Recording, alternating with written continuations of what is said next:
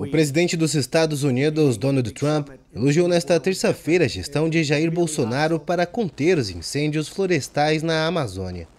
Em sua conta no Twitter, Trump publicou a seguinte mensagem: Cheguei a conhecer bem o presidente Bolsonaro em nossos contatos com o Brasil.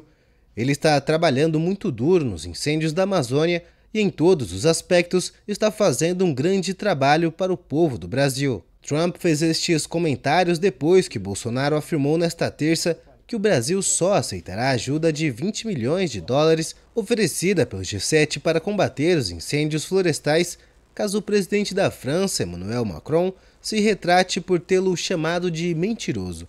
O presidente da França disse na sexta-feira que seu país não respaldará o acordo de livre comércio anunciado há dois meses pela União Europeia e o Mercosul, porque Bolsonaro supostamente mentiu quando indicou que o Brasil cumpriria com todos os seus compromissos ambientais, o que, na sua opinião, foi posto em dúvida pela multiplicação dos incêndios na Amazônia.